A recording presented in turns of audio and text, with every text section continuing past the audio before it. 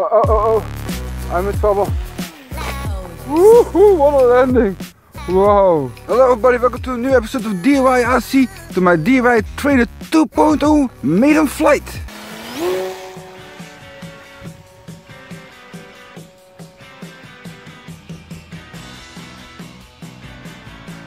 Power down. Yeah. Yeah, yeah, yeah, yeah, yeah, buddy. She's flying. oh, oh, oh, oh. I'm in trouble.